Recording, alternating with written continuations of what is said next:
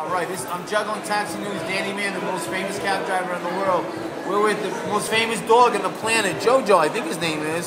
He's That's a right. celebrity in Vegas. We're at the uh, the Hilton, LVH. LVH. Now it used to be the Hilton. Uh, Elvis Presley used to have it. They used to call it the Hilton. Now uh, now they call it the LVH. It, it used to be the International Hotel at one time.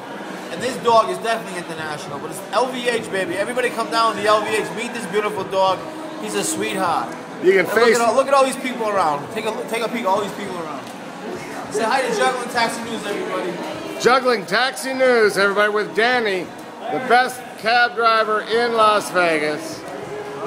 He's There you go. Oh, he's in his Zen mode. He says, I'm taking a nap, buddy. There you go. You can Facebook JoJo at JoJo Dog King. Tag him, like him, tag him. Vegas, baby. Vegas, baby.